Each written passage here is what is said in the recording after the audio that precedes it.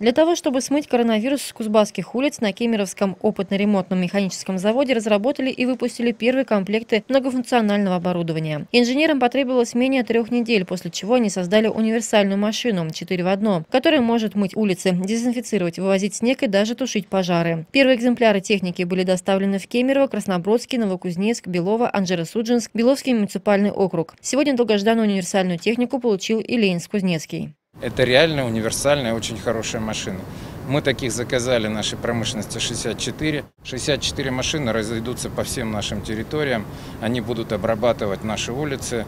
И они готовы все в случае возникновения пожара быстро прибыть в точку тушения пожара, каждая из которых несет себе 10 тонн воды.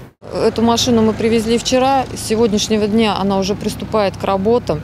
Мы продолжаем эту работу. Так мы вели до этого своими силами, но вот теперь нам поступила дополнительная техника, которая специализирована, она будет э, направлена на то, чтобы обрабатывать дороги и тротуары.